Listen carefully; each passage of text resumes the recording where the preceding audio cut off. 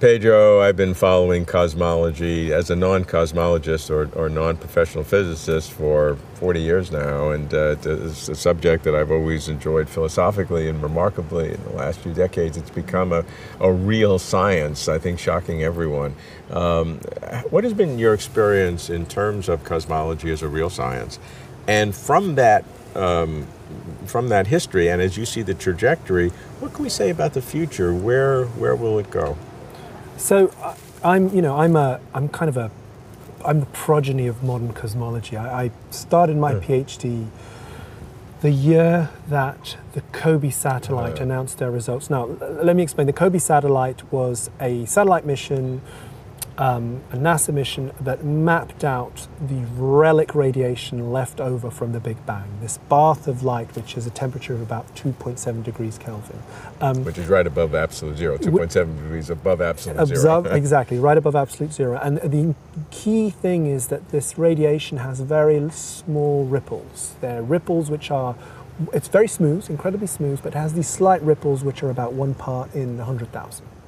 Um, and the key thing about these ripples is we, we see them as that the universe had structure at, at that time when, they, when, the, when this relic radiation was left over. And these ripples are, in some sense, the seed of, hmm. seed of galaxies that we see today. So it all fits together. When we look out at the universe now, we see distributions of galaxies forming this cosmic web with voids, filaments, and clusters. We now know where it began from this light. And the, the COBE, the, you know, the COBE results kind of launched modern cosmology. What year was that? 92, 1992. Um, and so we could now we could now sew things together. You know, the very early universe to the late universe. We could ha- we had quantitative measurements, you know, precise measurements that we could start um, uh, working with to, to, constrain cosmology. And over the last, you know, more than 25 years, the results have increased. You know, the, the, the, precision of the results have gone up by a factor of 100 to 1,000. So now we have this incredibly precise measurement of the universe, and it's just going to get better. Now, the state of play at the moment is that we can measure things in cosmology incredibly precisely and we can start digging at some of the foundational issues like what is the theory of gravity? Um, you know what is the what are, what might be the fundamental particles that uh, uh, uh, play a leading role in the early universe? But you can ask the question of and where is this going to end? And it's not going to get better indefinitely there's a kind of a limit to the information content in the universe that we can observe. And it's quite possible that in the next few decades we'll hit it. We'll be able to map out the whole observable universe to incredible precision. We'll be able to bring down these errors, but there's going to be a threshold. There's going to be a threshold below which we, we, we, we can't go. The thing is, it's not just from the CMB that now we're getting information, and it's not from this, only from the CMB that we're going to learn more about the universe. We're, we're mapping out the distribution of galaxies to incredible precision. Let me give you an example. There is a telescope that is currently being built in South Africa and partly in Australia, the Square Kilometre Array, which will yeah. produce surveys with many billions of galaxies. Right? This is, you know, it's incredible. We'll map out in the minutiae of how the universe is, is built up.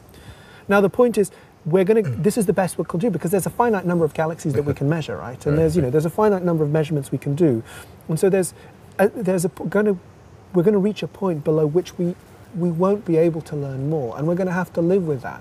And so, one question, for example, you might ask yourself is: Will we ever figure out how the universe began? You know, what was the mechanism that led to the beginning of the universe?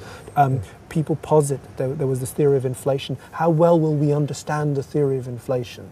Um, so there's, there's going to be, I think there's going to be a limit to cosmology. There's going to be a point beyond which we're not going to be able to measure, and there are questions which we will not be able to answer, mm-hmm. even with the best measurements that we'll ever be able to do.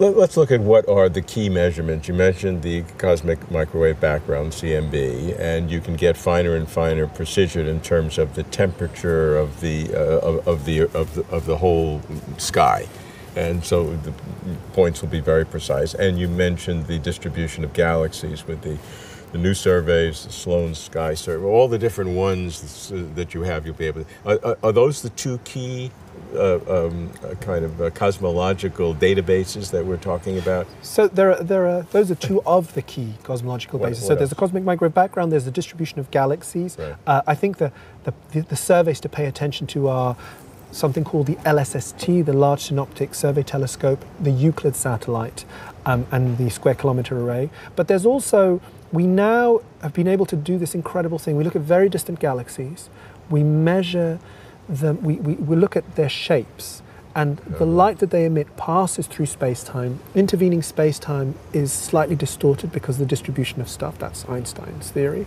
Um, the galaxies are distu- di- distorted. We measure these distortions. Um, w- what we say is that these galaxies are lensed, and by measuring this lensing, we can infer what space-time is doing. Yeah, gravitational lensing. Yeah. Exactly, and so gravitational lensing is, is another example Oh, okay. of, That's- that's and a it's a one. and a it's a one. really powerful So method. So gravitational lensing because it, because because light is, is is transformed by the curvature of when mass is there it curves space so the light beam curves because Exactly. it's, it's it's it's going straight within the uh, within its own world but because of mass it curves and so then you can use that to measure the uh, characteristics of space-time itself. It's basically you, you know you measure you, you, uh, uh, you know a galaxy is emitting light. The light is distorted as it moves through space time. right. Um, you you can kind of say something about the distortions of this space time, and if you from the distortions of space time and Einstein's theory, you can say what is causing this distortion. Right. And so you make another map of the underlying, for example, dark matter, which is distorting space time. Right. And so, in one sense, that's an in that you have right now three independent kind of views of, of the same sky. All in different ways, all at, at different scales, and and so it's it's really amazing. It's an it's an amazing, and, and the incredible thing is, people are on board with doing this. Funding agencies are on Yeah, board with, right. you know, letting us do this. So we're going to get to a point where we we've got everything really measured. You know, we're going to have everything measured. And then what? You know, then what? You know, will we have solved some of the funda- all the fundamental problems? I mean, another question that we might ask is, will we ever figure out what is causing the universe to expand the way it does? We see the universe. We seem to see that the universe is accelerating instead of decelerating. Um, we say that there's some form of dark energy. Will we be able to figure out what this dark energy is? Will we, will we be able to figure out if Einstein's theory of gravity is correct on those scales?